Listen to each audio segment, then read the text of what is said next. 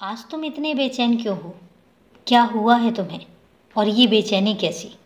अरे जब तुम्हारा हर काम मैं देख रहा हूँ, फिर तुम इतने बेचैन क्यों हो जाते हो? तुम निश्चिंत रहो और निश्चिंत होकर सिर्फ़ अपना काम करो। बाकी सब मुझ पर छोड़ दो। मैंने तुम्हारे लिए बहुत कुछ सोच कर रखा है, बहुत कुछ।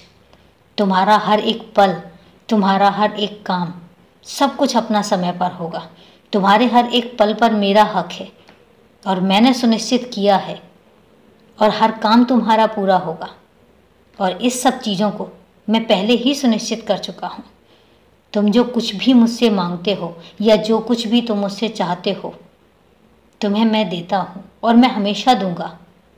और इतना ज़्यादा दूँगा कि तुम्हारे हर परिवार के, हर एक सदस्य का सुरक्षा कवच मैं बनूँगा, उनकी सुरक्षा का ध्यान मैं रखूँगा। और ऐसा सुरक्षा कवच बनूँगा कि चाहे कोई कुछ भी कर ले, उस सुरक्षा कवच के अंदर प्रवेश नहीं कर सकता। और ऐसी मानसिकता वाला इंसान तो बिल्कुल भी नहीं प्रवेश कर सकता, जो तुम्हें नुकसान पहुँचाने के लिए सोच रखता हो। इसलिए मैं तुमसे कहता हूँ कि तुम परेशान मत हो। मेरे लिए कुछ भी नामुमकिन नहीं है। मैं वो हर काम कर सकता हूँ जो मैं सोच लेता हूँ, और अपने बच्चों की खुशियों से ज़्यादा ज़रूरी। मेरे लिए कुछ भी नहीं है। तो जब तुम्हारी खुशियाँ मैंने ले ली हैं, मेरे हिस्से आ गई हैं तो फिर तुम्हें परेशान होने की ज़रूरत नहीं है। तुम बस खुश रहो। और अभी के लिए शुभ रात्रि मेरे बच्चे।